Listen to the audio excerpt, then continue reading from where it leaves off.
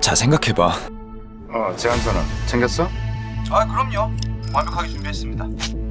오늘 박 회장 무조건 우리 쪽으로 끌어야 돼. 네가 어느 날 아침에 눈을 떴는데 넌 미성년자를 끔찍하게 죽인 살인자가 돼 있는 거야. 특별한 직업 없이 폭력 게임에 중독된 사무양을 강간하고 살해한 모두 무죄로 인정하여 무기징역에 처한. 아무것도 기억이 안 나는데 모든 상황들이 네가 범인이래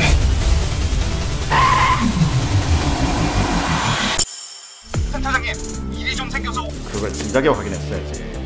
근데 이번엔 잘못 건드렸어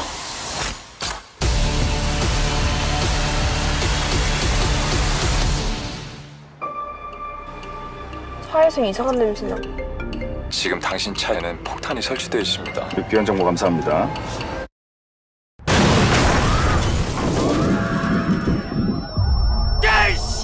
내가 전화 끊지 말라 그랬지 내리면 터지고 경찰이든 뭐든 외부에 연락하면 터지고 내 기분 더러워지면 터집니다 용의자 집에서는 사제폭탄 재료들이 다량으로 발견되었는데요. 보내주지 않으면 폭탄을 터뜨리겠다. 어때 괜찮았어? 네가 하던 방식대로 한번 해봤는데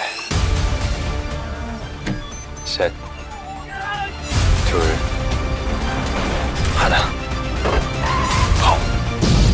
지금 작업자들이 모조리 건이한테 당했어요. 다 차려준 밥정도 못 떠먹으면 어쩌자는 거야?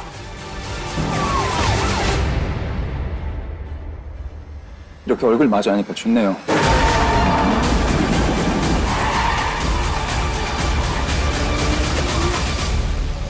늘 최선을 다하는 거 그게 문제야 그렇게 적당히 살았으면 이런 일도 없었잖아